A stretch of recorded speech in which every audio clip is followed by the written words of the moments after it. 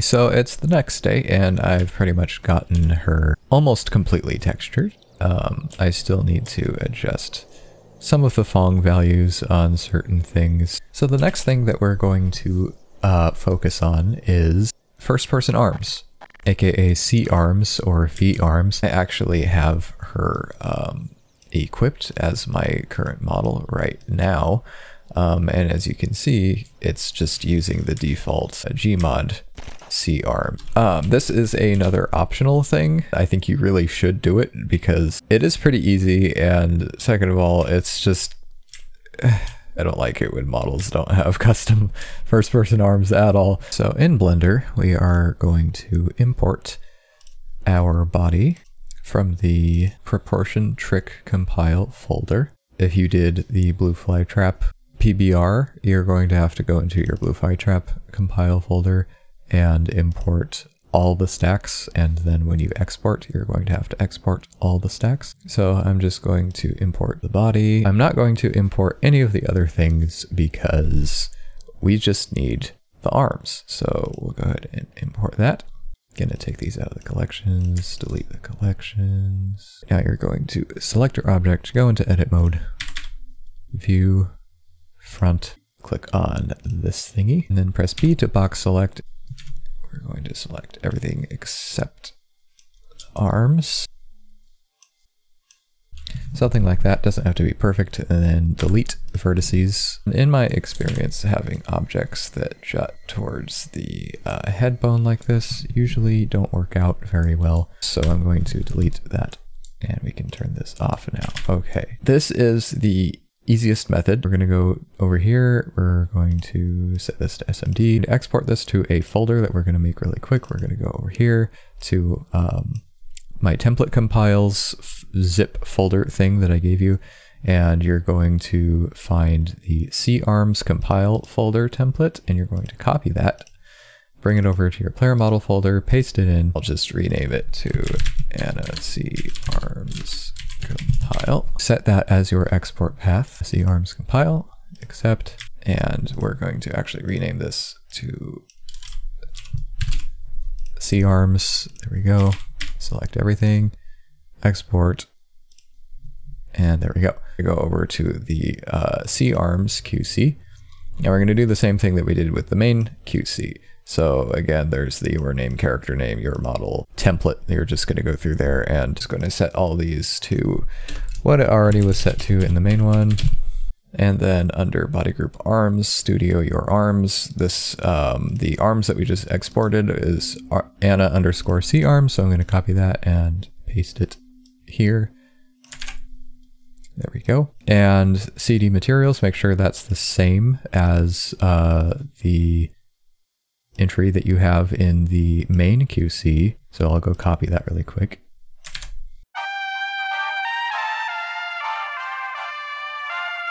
And go ahead and save this QC. We are going to compile it with crowbar as we did with the other. We're going to go to C-arms QC and then change the output to C-arms output like that. Keep everything else the same, compile. Okay, and now we're going to go to the output folder. We're just going to cut those. We're going to go to um, our Garry's Mod add-ons folder, our mod folder. We're going to go to models, and we're going to paste those in there. We have the main player model and we have the arms. So you're going to copy the name of the uh, main model, which is this one, and then you're going to go to Lua auto run and we're going to go back to our Lua file that we haven't edited in a while and we're going to replace the name of the add valid hands model here to Anna PM arms and we're going to change the file path like that. We're going to want to make sure that the name right here is the same in each entry because otherwise this won't work. And we're going to delete those two slashes to uncomment this command. And now when we go back into Gmod, we should have C arms. And there was a, as you can see, it's, our arms were just a giant error. And the reason why, the reason why that was is because I accidentally deleted the .mdl at the end of the add valid hands command. So um, yeah, put that back. And now when we reload the server, our arms should be there. Okay, and there we go. We have custom arms. Cool. It looks like these turned out pretty good for the most part. I think these are probably good enough that most people wouldn't really notice or care about the uh, defects, but the way I personally like to stress test custom arms is by using the Arctic Apex Legends weapons uh, because they push C arms to the limit. Yeah, I'm just going to equip some of these and look at the results. So there's definitely some stretching going on with the wrists. It's nothing too crazy. If you don't like the way it looks using this method, there is one other way to go about making C arms. That was the easiest, fastest way. But there is a more difficult, more um, in-depth method that I will show you now that usually results in a much nicer looking pair of custom first-person arms. Quit Gmod, open up new Blender again. going to import, go to our template zip folder thing that I gave you, and you're going to go to the default C arms folder, and we're going to import the uh, ARMS Citizen SMG and SMD and the ARMS Citizen hands, not the gloves. Okay, there we go. This is what the default uh, Gmod C arms look like. Once they're here, we're going to import our arms that we already made. And a C arms make new armature. That part's important. Import. So what we're basically going to do is we are going to try and get her arms as closely lined up to the original C arms as possible, as close as physically possible, and we want the fingers especially to be lined up. Select her arms and the skeleton. We're going to size these up just a little bit. We are going to use a combination of object mode and pose mode to try and get her arms lined up. Every time I move or scale or rotate anything in object mode, I'm going to do Control A, location, rotation, scale. And don't move the original um, C arms or its skeleton. Only move your model's arms and skeleton. That's very important. On pose mode, I'm going to go to viewpoint front. Let me line up the clavicles here. You need finer adjustment. You're going to hold shift while you're moving around it, uh, with G and that will slow down the movement so you have more control. I'm gonna straighten the arm out.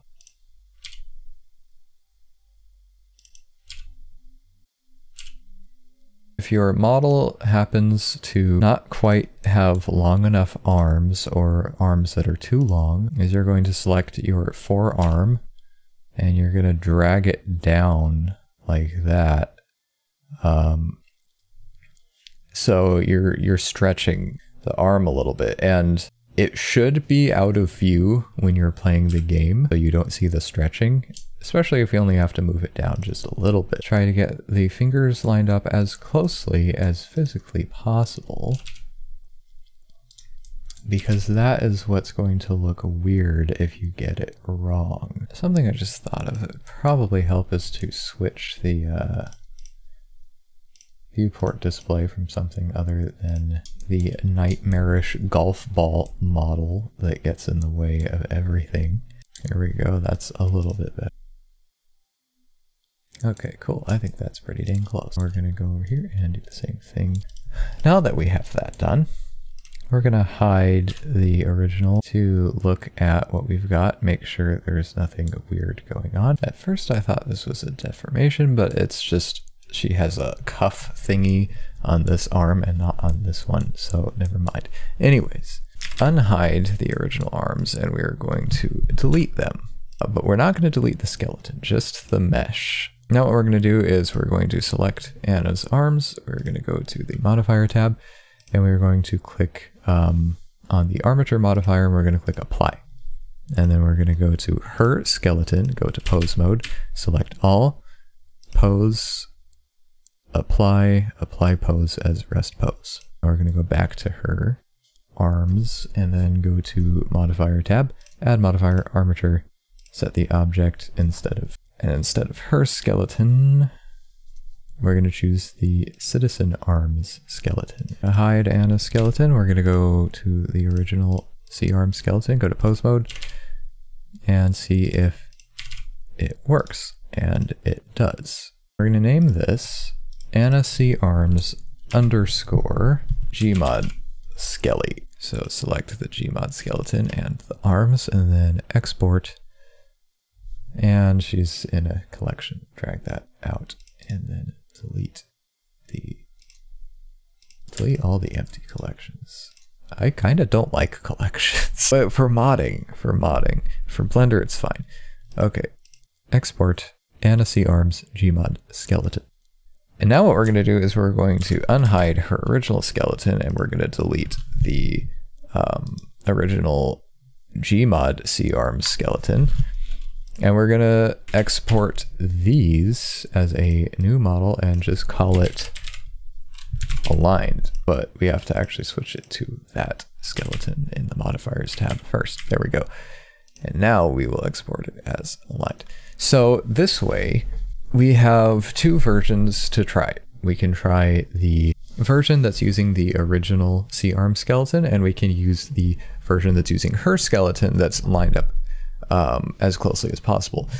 And the reason why I do it that way is because sometimes um, using the original skeleton can look more janky than just using um, your model's skeleton um, after you line it up. We are now going to go compile those. C arms compile folder, and we're going to try the Gmod skeleton first. Change it in the studio command to the Gmod skeleton model.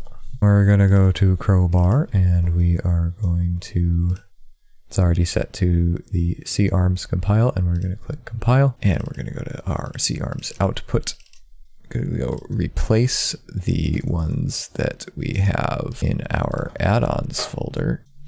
Paste, replace. All right. And already I can tell that is looking much, much better.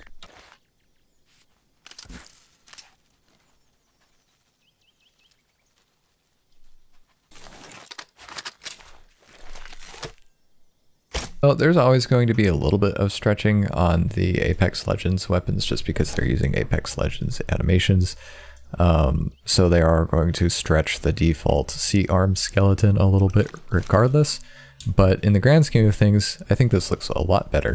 So I'm happy with the way it is, but if you don't like it, you can try using the other version that we saved, but I like it this way. Okay, cool. So that's how you do C-arms. So if you are ready to upload your model to the workshop, you're going to get your um, player model folder from your add-ons that we've been working on. So here it's right there. Um, I'm just going to rename this so it doesn't conflict with the folder I have on my desktop. Copy it, Paste it right there. Make sure you delete any temporary files that you may have been storing in it before you upload it so it doesn't bloat the file size for no reason. You're going to want to go to Crowbar, open up Crowbar, uh, and you have to have Steam open. I'll close Gmod.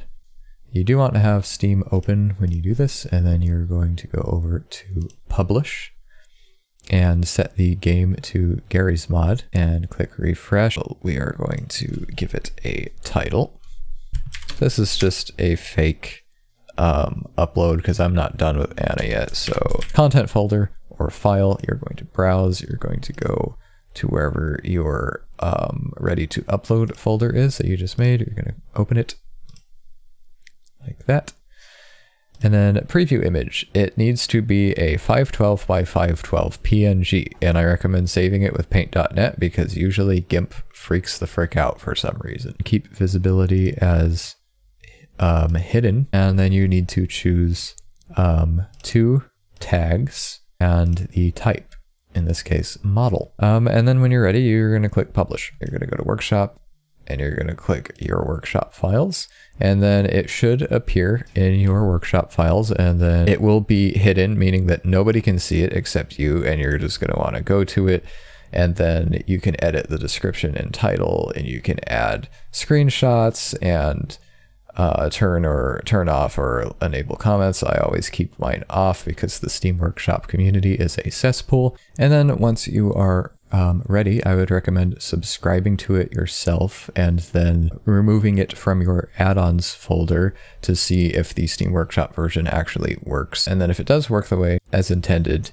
then you're going to go to change visibility, public, and then that's it. So I'm probably going to do a follow-up video at some point in the future showing the third and final method that I use for texturing called fast valve material. But for now, that should be good enough. And congratulations if you have successfully finished a model. And even if you have only partially got it in game, there might still be issues with it, or if you can't figure something out. Either way, if you got something into the game, that's an accomplishment in and of itself because the source engine is a huge pain uh, to do anything with. So if even if you got a messed up model into the game, you should feel proud of yourself for even achieving that. And I don't mean that in a sarcastic way. I mean that genuinely, this stuff's hard.